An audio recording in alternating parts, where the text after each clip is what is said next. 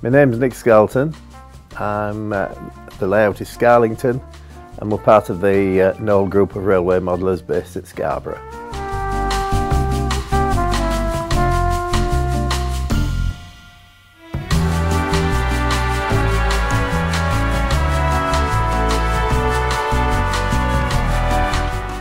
The model originally came about, it's a, it's a successor to our um, 1930s, 1950s uh, layout North of England line and that was built with the steam enthusiasts in the group in mind and the, uh, the arrangement always was that once, once that layout had uh, lived its life on the exhibition circuit we're going to build a, a 1970s 80s diesel layout to appease the diesel fans amongst us.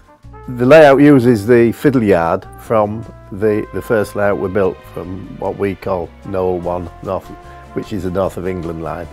So it, we already had the fiddle yard constructed and construction of this layout started in 2011.